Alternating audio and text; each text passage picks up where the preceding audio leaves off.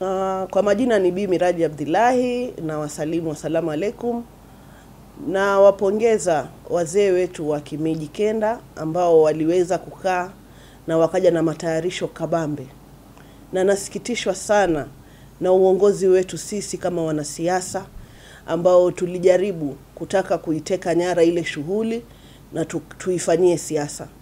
Kwa hakika mila na tamaduni ni mahali patakatifu ambapo panafaa kuwepe, kupewa heshima inayostahiki. Kwa kweli kulipendeza na ishara ya umoja wa Wamijikenda ilidhihirika jana, kwa sababu wananchi walimiminika ilikuja kusikia yale ambayo wazee walikuwa wamewatayarishia. Na mimi kama kiongozi, jumla ya kuwa sikupata fursa ya kufika lakini roho yangu na kiwiliwili changu na kila kitu changu kilikuwa pamoja na nyinyi katika shughuli kama ile. Linalonisikitisha na linalonifanya mimi moyo wangu uvuje damu ni kwamba sisi kama Wamijikenda tulitarajia jana tuzungumziwe masuala ya kiuchumi ambayo sisi tumekuwa tuko nyuma, jumla ya kuwa tunaishi katika fuo ya bahari.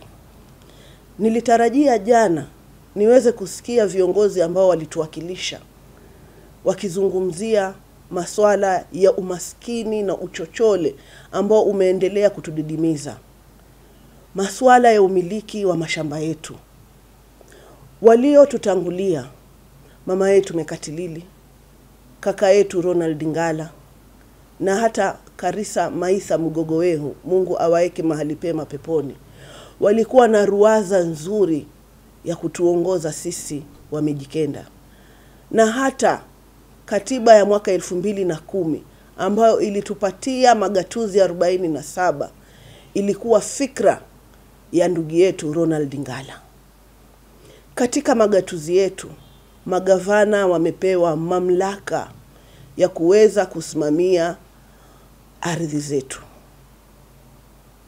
Inasikitisha kuona ya kwamba bado Mmijikenda anahangaika kupata umiliki wa ardhi ya mababu zake. Nimesimama kwa kuwa niliyakuta na nikaona litakuwa jambo rahisi ya mimi kuweza kulitatua, lakini nimeona shida haiko kwa wananchi. Shida tunayo sisi ambao Mwenyezi Mungu ametutunukia nyadhifa za uongozi. Ninapozungumzia hili na nazungumza kwa muktadha wa kwamba ikiwa wewe kama gavana umepewa usimamilizi wa shamba, kwa nini mtu anakuja na cheti? Kwa hakika cheti kile ni halali, manake amekipata, ni cheti cha halali, lakini ni mbinu gani, ni utaratibu gani? Mtu anakuja na cheti katika shamba la jamii ambayo imeishi zaidi ya miaka mia moja na nazungumzia tu mashamba ya Gamaka, mashamba ya pale Visangalaweni, ambapo mtu anakuja na stakabadhi na kudai kwamba yeye ni mmiliki. Na nyinyi kama wasimamizi, ndugu zetu, maana imetosha sisi kila siku kunyosha kidole cha lawama katika serikali kuu wakati mamlaka ya uongozi na mamlaka ya kisheria na kikatiba yako mikononi mwetu. Isitoshe, ndugu zetu machifu ambao ni ndugu zetu machifu wa maeneo yoyote ni, ma, ni watoto ambao wanatoka katika maeneo hayo hayo.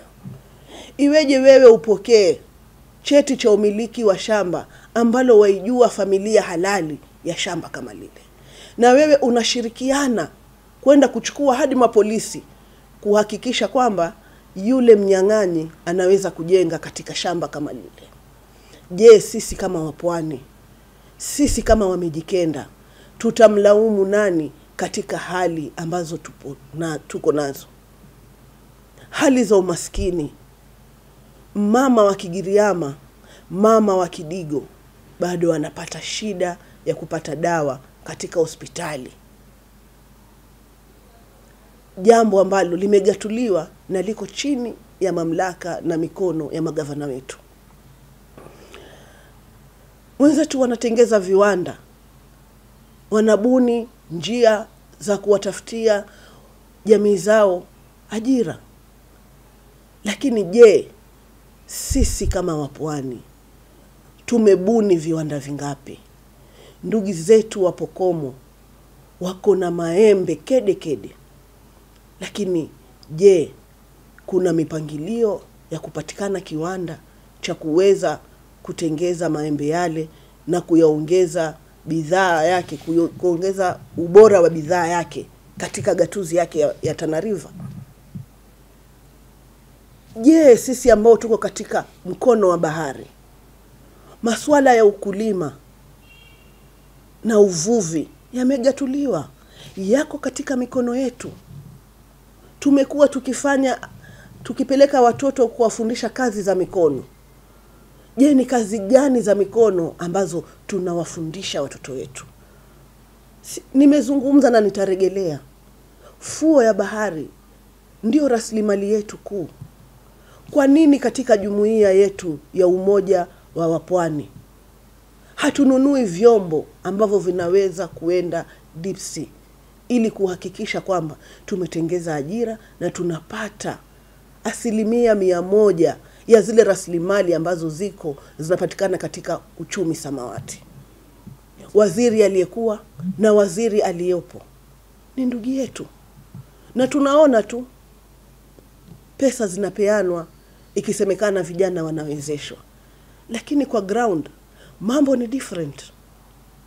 Juzi tu ndugu zetu wa Old Town wamezungumza masuala ya kwamba wanakosa hata majokovu ya kuweka wale samaki kidogo ambao wanawavua. Je, sisi kama Mijikenda, sisi kama jamii ambazo zinaishi katika pwani ya Kenya, viongozi wenzangu, watu wanang'ang'ana kutafuta uongozi wa mwaka wa elfu mbili na ishirini na saba wakati hatujatatua hata robo ya matatizo yetu sugu. Watu wanapigania kupata wizara nyingi nyingi, watu wanapigania kupata mabarabara. Sisi bado tunapigania kumiliki mashamba ya mababu zetu, na tuko hapa tunajitayarisha kwa vita, kwa jasho na kwa damu, ili kuona kwamba tunaregea katika viti vya uongozi. Ndugu zangu, uongozi ni dhamana. Kesho tutaulizwa maswali kwa Mwenyezi Mungu, ni kitu gani ambacho tumefanyia watu wetu, na si kwamba siyaoni ama siyasikii yale ambayo yanasemwa ya kwamba yule mtoto ni kimbelembele, atawasaidia nini watu? Mambo ya mashamba yalishindikana. Mimi nawaambia, madamu Mwenyezi Mungu amenipa fursa hii na kwa sababu naujua uchungu wa wazazi wanavyohangaishwa kwa kuambiwa hawakusoma,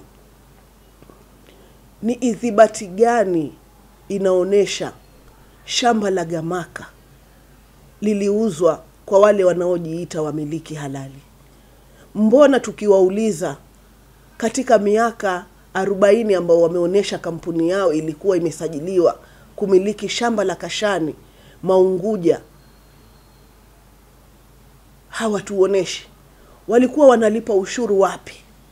Kwani maswala haya ni mimi peke yangu Miraji nayaona? Nyinyi ndugu zangu wakubwa ambao mumenitangulia katika katika uwanja huu hamuyajui? Ama ni kitu gani hiki ambacho watu wa pwani hawakielewi? Naona tulipopata uhuru sote tumekuwa tukipiga kura kama wengine, lakini wenzetu waenda mbele, sisi twarudi nyuma kila baada ya uchaguzi. Munisamehe kwa wale ambao nitakuwa nimewakwaza, lakini nawaomba na nanyenyekea chini ya miguu yangu, tufikirie ni kwa nini tunautafuta uongozi. Tusipelekwe na hawa za moyo wetu wala shengesha za kuona kwamba watu watapiga kura na sisi tupige kura.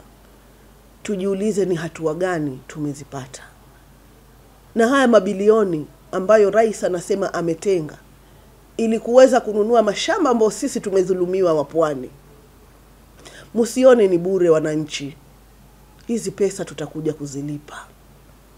hakuna kitu cha bure kutoka kwenye serikali, isipokuwa unapata afueni leo, lakini ujue wajukuu na vitukuu vyako watakuja kulipa kupitia ushuru. Wamijikenda, tukaeni tutafakari, tushikane, kwa sababu adigo wakasema adigo akamba mwane mwane tayulaganyoka